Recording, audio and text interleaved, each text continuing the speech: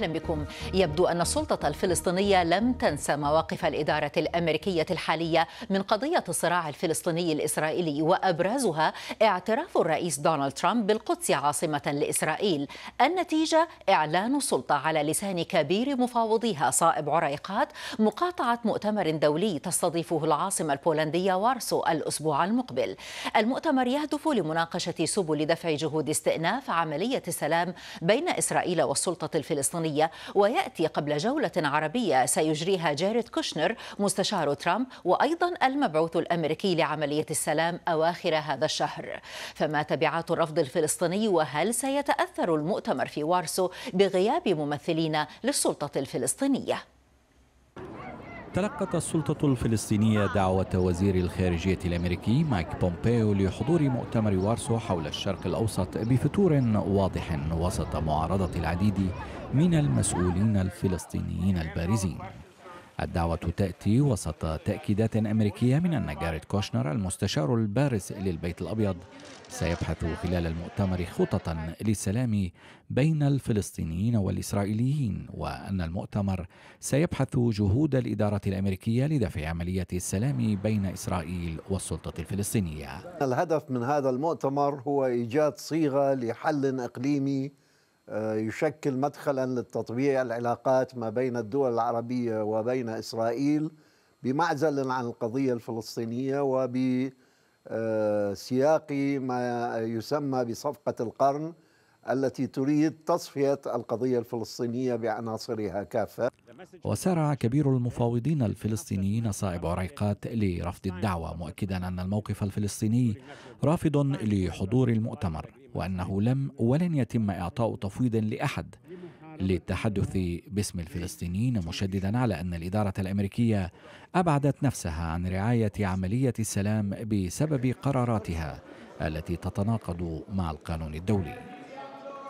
ومن المفترض أن يقوم جاريد كوشنر والمبعوث الأمريكي إلى الشرق الأوسط جيسون جرينبلات بجولة شرق أوسطية نهاية هذا الشهر تشمل خمس دول عربية وهي سلطنة عمان والبحرين والسعودية والإمارات العربية المتحدة وقطر بهدف بحث الشق الاقتصادي المتعلق بعملية السلام والذي من المتوقع أن يتضمن مزيجا من المساعدات والاستثمارات لمساعدة الشعب الفلسطيني. ويرى مراقبون أن نجاح الشق الاقتصادي مرتبط بتحقيق إجماع حول الإطار السياسي لعملية السلام. ولم يتمكن الرئيس الأمريكي دونالد ترامب من طرح خطته للسلام بسبب إعلان اعترافه بالقدس عاصمة لإسرائيل. لكن البيت الأبيض يعول على تحريك الشق الاقتصادي كمدخل يتيح لترامب طرح خطته التي من المتوقع أن يتم الإعلان عنها بعد انتهاء الانتخابات في إسرائيل. والمزمع إجراؤها في أبريل نيسان القادم. اليكس ايوب بي بي سي. معنا من غزة الآن فايز أبو عيطة نائب أمين سر المجلس الثوري لحركة فتح. ومعنا عبر سكايب من واشنطن ريتشارد فايتس كبير الباحثين في معهد هادسون للدراسات السياسية والعسكرية. ومعنا من عمان المحلل السياسي عريب الرنتاوي. أهلا بكم جميعا في العالم هذا المساء. أبدأ معك سيد فايز أبو عيطة لأسأل تحديدا ما الذي تكسبه السلطة الفلسطينية من جراء الغياب عن مؤتمر وارسو؟ يعني مساء الخير لك وللزملاء الكرام ولكل المشاهدين طبعا. وبصراحة أنه السلطة الوطنية الفلسطينية لا ترى اليوم في الولايات المتحدة الأمريكية راعيا نزيها للاستمرار في رعاية عملية السلام والتسوية في الشرق الأوسط أو بالأحرى فيما يتعلق بالصراع العربي الإسرائيلي. من المعروف أن الولايات المتحدة الأمريكية بعد إقدامها على الإعلان عمليا أو البدء عمليا بتنفيذ صفقة القرن بعدما أعلنت عن موقفها من القدس ومن موضوع اللاجئين وهم صلب وجوهر القضية الفلسطينية باتت لا تمثل لا شريكا ولا راعيا لعملية التسوية وبالتالي الشعب الفلسطيني والقيادة الفلسطينية لا تثق بدور الولايات المتحدة الأمريكية وهي نستطيع أن نقول الداعي الرسمي لهذا المؤتمر والراعي هي بالفعل الداعي الرسمي وهي التي وجهت دعوة للسلطة رفضت. ولكن كان سؤالي أستاذ فايز يعني هذا موقف فلسطيني معروف الآن له فترة. ما المكاسب من من جراء الغياب الآن؟ يعني واضح أن شيئا ما يجري تدبيره وهناك زيارة في آخر الشهر. يعني وكأن الفلسطينيين في النهاية يهمشون أنفسهم بأنفسهم مما يجري. نحن نحن لا نهمش أنفسنا ولكننا نحدد موقف واضح للقيادة الفلسطينية وللشعب الفلسطيني بتمسكه بحقوقه وثوابته الوطنية التي تريد الولايات المتحدة الأمريكية أن تتجاوزها طيب. ونحن على ثقة أن الولايات المتحدة الأمريكية مهما فعلت ومهما ضغطت ومهما مارست من ابتزاز سواء على الشعب الفلسطيني أو القيادة الفلسطينية أو على دول العالم الأخرى لن تستطيع أن تتجاوز منظمة التحرير الفلسطينية. منظمة طيب التحرير يعني الفلسطينية هذه الأسابيع والأشهر المقبلة. لربما تكون حاسمة في تحديد إن كان هذا الكلام صحيح أم لا. ولكن أنا أريد أن أوجه سؤال لريتشارد فايتس. يعني ما حجم الضربة التي تلقتها هذه المساعي الأمريكية الأخيرة بأن يرفض الفلسطينيون الآن الحضور في وارسو؟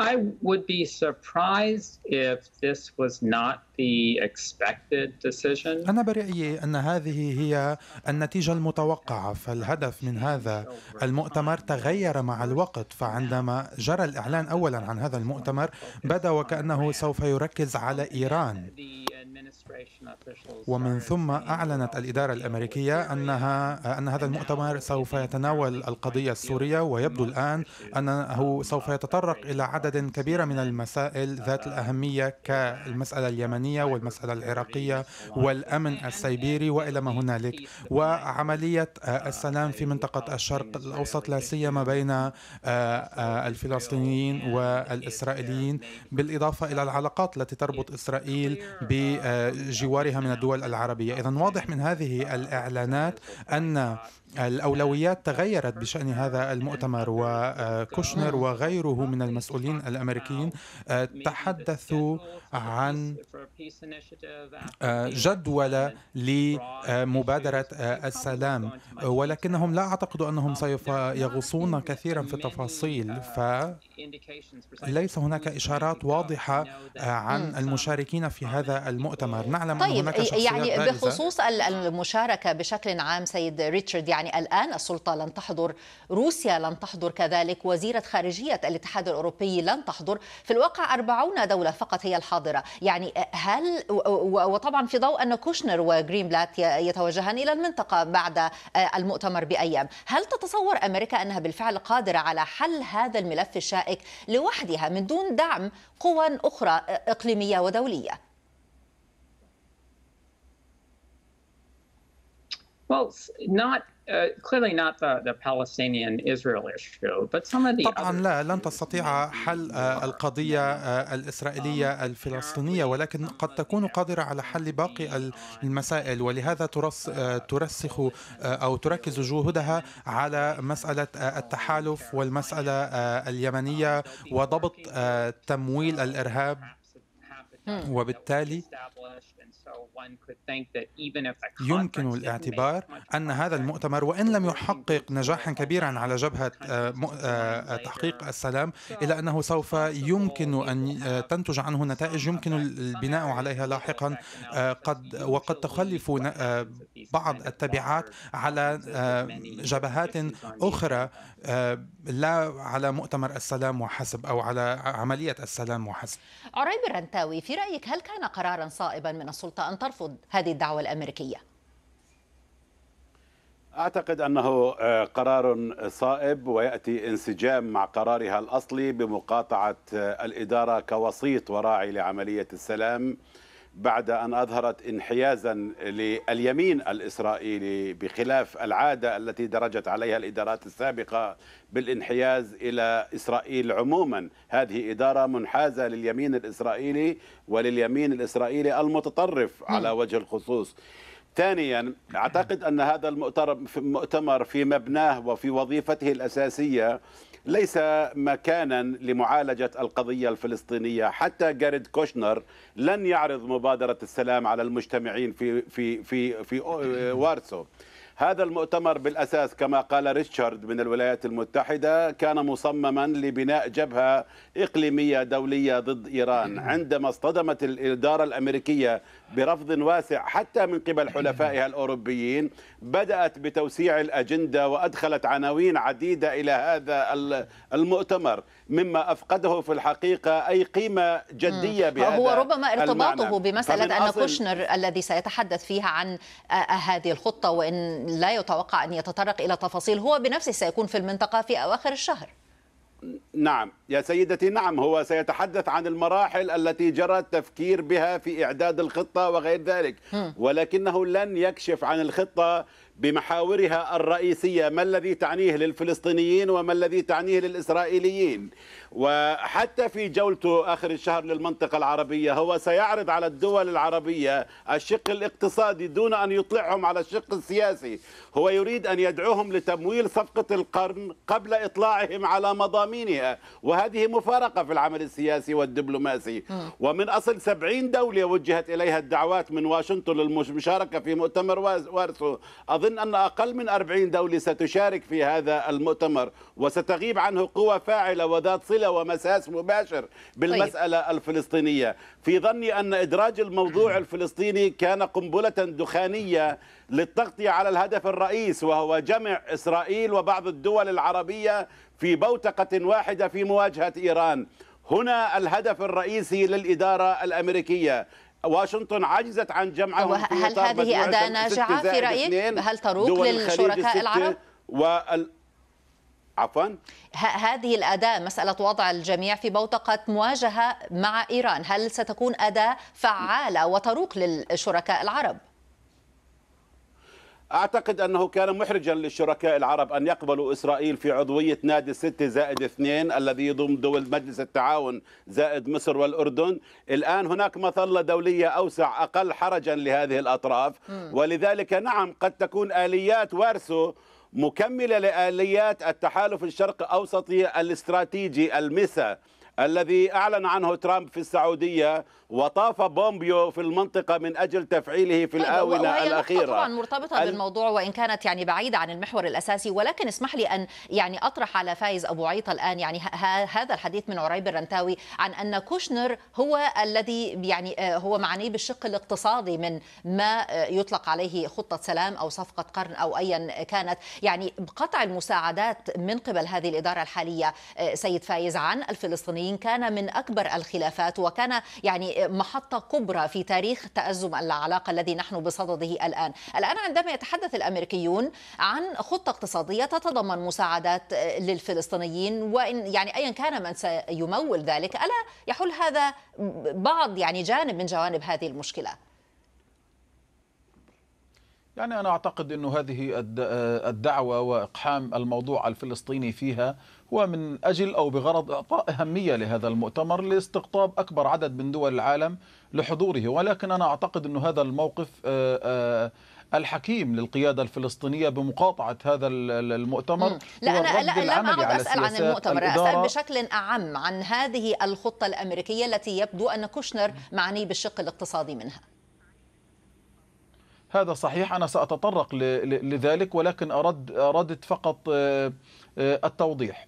الخطير في المؤتمر أيضا قبل أن أدخل بالإجابة مباشرة على سؤالك بأنه أيضا يطرح الموضوع من زاوية بحث علاقة إسرائيل بدول الإقليم أو بالدول العربية أو بمحيطها الإقليمي. وأنا أعتقد أنه هذا خطير وفيه تجاوز للمبادرة العربية التي تقتضي أن يكون هنالك حل واضح للقضية الفلسطينية بناء على أسس محددة وآخر خطوة هي عملية التطبيع مع دولة الاحتلال الإسرائيلي. أما فيما يتعلق بالدعم المالي والطابع الاقتصادي لهذا المؤتمر أنا أعتقد أن الولايات المتحدة الأمريكية بانحيازها وبوقفها الدعم للسلطة الوطنية الفلسطينية وللشعب الفلسطيني هي حاولت أن تمارس سياسة الابتزاز للقيادة الفلسطينية ولشعبنا ولكن أنا أعتقد أن جوهر قضيتنا وهو جوهر القضية سياسي وليس إنساني وبالتالي سنتحمل الأعباء المالية الناجمة عن قطع المساعدات الأمريكية للشعب الفلسطيني دون أن يتنازل شعبنا أو قيادتنا عن المواقف الثابتة والحقوق المشروعة لشعبنا ولن نسمح للولايات المتحدة الأمريكية أن تنال من قضيتنا سياسيا آه، بسبب هذا الدعم أو بسبب الابتزاز المالي. طيب هذا موقف مبدئي؟ وأريد أن يعني آه، أو آه، يعني أتساءل ريتشارد فايتس إن كان سيسمعه كوشنر أيضا من السعوديين. يعني وهذا بناء على تسريبات في الواقع للتلفزيون الإسرائيلي الذي يعني تحدث عن مواقف سعودية لمسؤولين سابقين منهم مثلا الأمير تركي الفيصل يقول إنه آه، يعني لا تطبيع مع آه، إسرائيل ولو كانت هناك علاقات غير رسمية ولكن علنا ورسميا لن يحدث تطبيع في العلاقات ما لم تحل القضية الفلسطينية اولا. اذا هو اختلاف يبدو أنه نفس الموقف الفلسطيني الآن في ماذا يأتي قبل ماذا.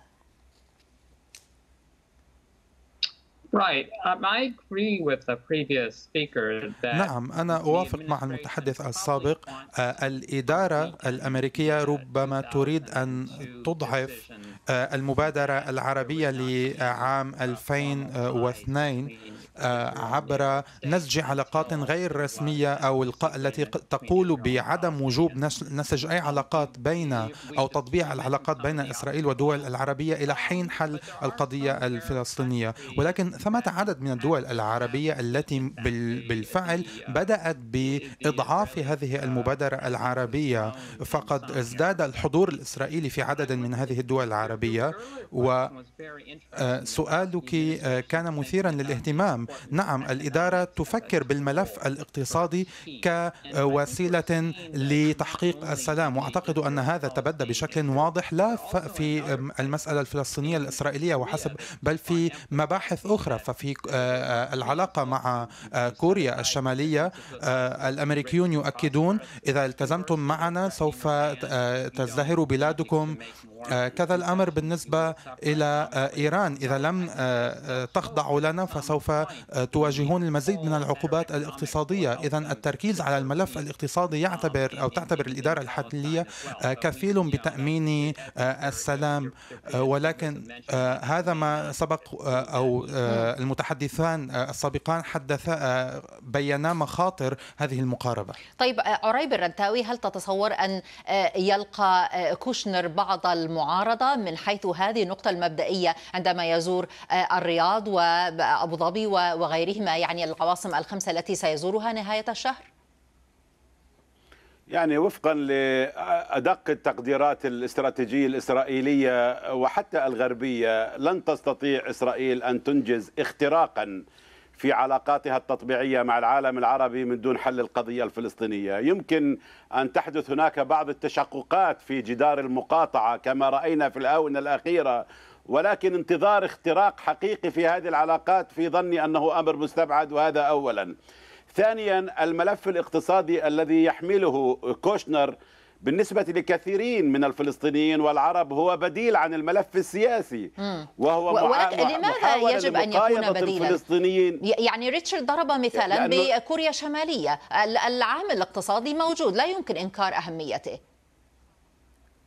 بس في الأخير في كوريا في دولة وفي سيادة وفي حكومة وفي أرض آه، للكوريين. الموضوع الفلسطينيين مغاير. الفلسطينيون تحت الاحتلال ليس لديهم سلطة وليس لديهم سيادة. وإسرائيل لا تعترف بدولتهم. وإسرا... وترامب اعترف بالقدس عاصمة لإسرائيل ونقل السفارة إليها وهناك خمسة ملايين لاجئ. هذه ملفات لا يمكن مقايضتها بالمال. ما يفعل كوشنر الآن هو ما بشر به نتنياهو منذ سنوات. السلام الاقتصادي بديل عن السلام السياسي وبديل عن بحث القضايا السياسية قضايا الحل النهائي. ثم أن هناك يعني اتجاه لدى البيت الأبيض. بدأ منذ جلسة ال brainstorming العصف الذهني التي عقدت في البيت الأبيض قبل قرابة عام لفصل ملف غزة عن الضفة الغربية والدخول عبر البوابة الإنسانية والإحتياجات الإنسانية إلى غزة. من أجل فصل مصيرها عن مصير الضفة الغربية. إذا هو ملف اقتصادي مفخخ ربما بأسوأ النوايا. طيب وهذا ولكن هذا تحت تحت بند التسريبات والتكهنات. يعني فايز أبو عيطة ه- هل تعتبر أن يعني هل يمكن أن يكون هذا هو أكثر ما يزعج ويستاء منه تستاء منه السلطة الفلسطينية مسألة فصل غزة عن الضفة في فيما يخص الحل سواء سياسيا أو اقتصاديا؟ لا شك هذا يعني جزء من صفقة القرن. صفقة القرن باتت واضحة آه، يعني هي تحارب حل الدولتين ولا تؤمن بها. وبالتالي تقسيم آه، آه، الأراضي الفلسطينية إلى مجرد كنتونات منعزلة فصل غزة عن الضفة ونحن نرى يعني دموع التماسيح التي تذرفها الولايات المتحدة الأمريكية أحيانا على الوضع الإنساني في قطاع غزة ونحن ندرك أن الوضع الإنساني بالتأكيد صعب وقاسي جدا في قطاع غزة ولا ولا ولا ولا ولا ننكر ذلك بالعكس نحن نوضح ذلك لكل العالم لأنها جريمة ترتكبها إسرائيل وأيضا الولايات المتحدة الأمريكية بفعل الحصار المفروض على الشعب الفلسطيني بشكل عام وعلى قطاع غزة بشكل خاص ولكن هنالك نوايا إسرائيلية وأيضا نوايا أمريكية أيضا لتنفيذ صفقة القرن من خلال فصل قطاع غزة عن الضفة الغربية وبالتالي استخدام العامل الاقتصادي في هذا الشأن طيب. وبالتالي نحن كما قلنا موقفنا واضح أعلنا عن مقاطعة الولايات المتحدة الأمريكية وبالتالي نريد دور سياسي للمنظومة الدولية مختلف مم. عن الدور الذي قامت به الولايات طيب، المتحدة ولكن الأمريكية التي. لم تعد شريكا أو راعيا نزيها للتسوية. يعني ريتشارد فايتس ما صحة هذا الكلام طبعا نحن هنا في يعني آه، دخلنا في دائرة التكهنات السياسية ولا نعرف ملامح هذه ال- الخطة حتى الجانب الاقتصادي منها هل بالفعل برامج إعادة الإعمار آه، وهذه الحزم حزم المساعدات التي سيتحدث عنها كوشنر مخصصة فقط لغزة آه، حصرا. لا ليس uh, it's we we just we really just don't know, and what little leaks we get. لا نعلم والتسريبات التي وصلتنا إلى الآن غير واضحة، ولكن أنا برأيي أن كوشنر سوف يستثمر الاجتماعات التي سيعقدها في الأسابيع ال- آه، بعد أسابيع في منطقة الشرق الأوسط لكي يحدد آه، الجدول الزمني لهذه الخطة والمحتوى الذي تتألف منه لهذه الصفقة. وبالتالي آه، في اجتماعاته سوف يبين هذا المحتوى صفقة القرن وما يمكن للإدارة الأمريكية يمكن أن تقدمه وسوف يستمع إلى نصائح الذين سوف يتحدث معهم. أقله هذا أنا ما سوف ما أفعله لو كنت مكانه. طبعا هناك بعض القضايا الأساسية التي ينبغي التطرق إليها مثلا آه، قضية السياسة والأمن حتى لو كان التركيز على الملف الاقتصادي. ولكن ما توقعاتك آه، ريتشارد بايتس يعني هل يمكن أن يكون الأمريكيون قد أخطأوا حساباتهم لهذا الحد؟ يعني هم يب يب تبدو هذه الإدارة وكأنها متفائلة للغاية وواثقة للغاية. من ال- الأمر سيحل على الأقل في 2019 وإن كان يعني بعد الانتخابات الإسرائيلية آه، هل تتصور أنهم أخطأوا حساباتهم؟ Uh, I I would probably say yes. that نعم أخطأوا حساباتهم. آه، لقد كانوا مفرطين بتفاؤلهم ولكن هذا آه، يعكس بطبيعة الحال سياستهم الخارجية. مثلا ترامب لا يعتبر أنه بحاجة إلى جنود أمريكيين آه، في سوريا لأن داعش هزمت. كذا الأمر بالنسبة إلى تعاطيه مع كوريا الشمالية أو مع إيران حيث يعتبر أن ال- الحكومة الإيرانية سوف تذعن لمطالبه بعد إخضاعها لهذه العقوبات الاقتصادية. شكرا جزيلا لك ريتشارد فايتس كبير الباحثين في معهد هادسون للدراسات السياسية والعسكرية. وشكرا من عمان للمحلل السياسي عريب الرنتاوي. كما أشكر من غزة فايز أبو عيطة نائب أمين سر المجلس الثوري لحركة فتح. العالم هذا المساء متواصل معكم وفيه.